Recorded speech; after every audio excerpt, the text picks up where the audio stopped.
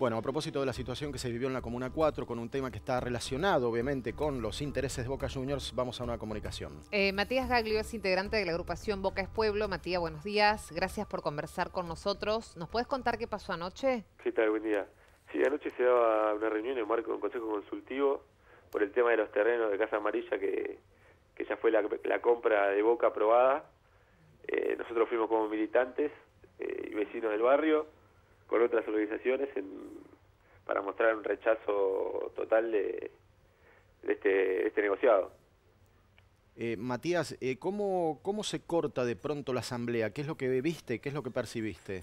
No, percibí desde el primer momento una, una intención de esta patota de, amedrentar, de, de, agredir verbalmente cada vez que se le reprochaba algo a la gente del gobierno, a la gente de la comuna. Eh, vi que en cualquier momento se venía algo más grave si nosotros hacíamos algo y bueno, así pasó. Matías, ¿ustedes conocen a esta gente? ¿Quiénes son? ¿A quiénes responden? Al puntero sí lo reconocimos, lo reconocieron varios militantes del barrio desde unos cuantos años más. Eh, la, patota nos dijeron que son gente del barrio, nosotros por lo menos de vista no lo tenemos. Claro, pero, perdón, eh, buen día Matías. Eh, se, puede se, puede decir porque, o sea, ahí claramente se ve, son todos vecinos de la misma zona, nosotros estamos viendo las imágenes, hay cámara de seguridad, pero hasta el momento en la fiscalía no tienen a nadie detenido y a nadie identificado. Ustedes hablan de, son punteros, sí, todos sabemos. Bueno, pero pueden dar algún nombre, pueden decir quién fue, porque esto podría haber terminado en una masacre. Hubo gente apuñalada y no había ni un solo policía.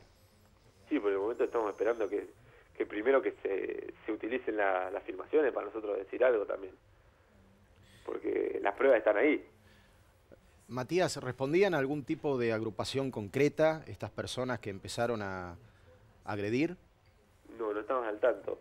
Eh, para entrar ahí teníamos, tenían que firmar como vecinos del barrio, así que imagino que están eh, identificados por eso. Tendrían que estar identificados por eso.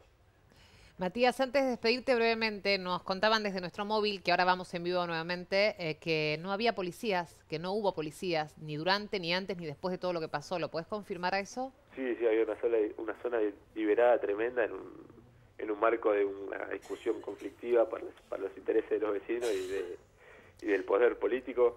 Eh, Matías, para antes de terminar, este, estos, estas personas participaban de la asamblea o irrumpieron en la asamblea?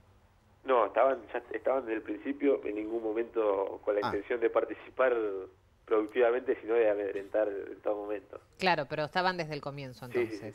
Bien. Gracias Matías por conversar con nosotros. Buenos días.